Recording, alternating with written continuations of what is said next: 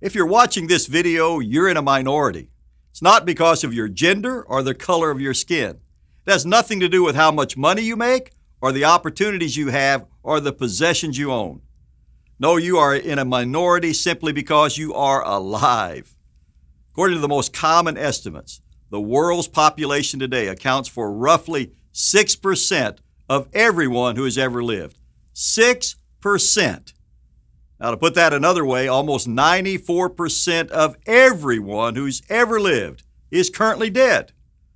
Now, again, estimates vary, but we're likely talking about something in the neighborhood of 100 billion lives, every one of them ancient history. So, what happens to them?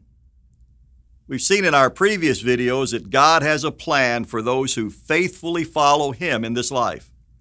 And we've seen how that plan extends to the survivors of the coming tribulation. what about everyone else? The Bible tells us that Satan is actively deceiving the whole world. So it's safe to assume that the majority of those 100 billion people never truly understood God's way of life. So what's their fate? The final festival in God's holy day plan, the last great day, also identified in Scripture as the eighth day, focuses on those people. The untold billions who lived and died without ever really knowing what God wanted from them and what He is offering them in return. That group isn't just limited to those who've never heard the name of Jesus Christ. It includes even those who've read the Bible, who've studied the Scriptures, but whose understanding was hampered by Satan, the God of this present age. Now, that's the beauty of God's plan. Everyone gets a chance. Doesn't matter where you were born or even when you were born. You and everyone else who has ever lived will have the opportunity to join the family of God and live on into eternity as his sons and daughters. No one gets overlooked. No one has to miss out. Now is not the time for the whole world to come to repentance. The Feast of Pentecost reminds us that God is currently only working with a select few the first fruits. But those first fruits are being trained to play a very special role in God's plan, a plan that will ultimately encompass the entire world, not just a handful of chosen ones. And that's the plan of God in a nutshell to offer life to the entire human race, and not just any life. God is offering eternal life in His family, a life without pain, without sorrow, without death, a life full of purpose and joy and meaning. And the last great day pictures the time when that plan comes to fruition.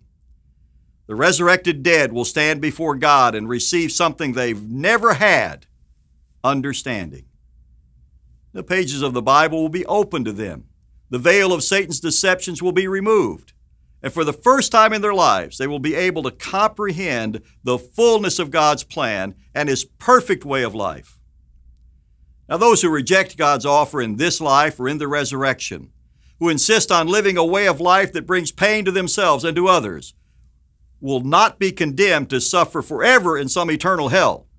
That would hardly be the action of a merciful God. But neither would it be merciful to allow those people to continue living in self inflicted pain. The only truly merciful fate for those who willfully and knowingly reject the way of peace is for God to end their existence. Eternal life without pain and sorrow means removing those who insist on causing pain and sorrow.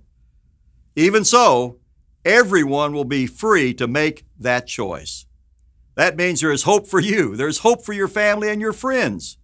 There's hope for the billions and billions of people whose lives have come and gone because God has not forgotten and will not forget a single one of them. They are precious to him, and he longs to invite all of them into his family. That day, that last great day, is coming. But what happens next? The Bible actually gives very little information about what happens after God's holy day plan reaches its conclusion. But the glimpse we are given is absolutely breathtaking. So join me in one last video as we take a look at the incredible future that lies just beyond the last great day. In our final video, we'll take a look at how the end of God's holy day plan marks the beginning of something much greater Click Next to continue watching, and for further reading, be sure to download our free booklet, From Holidays to Holy Days God's Plan for You.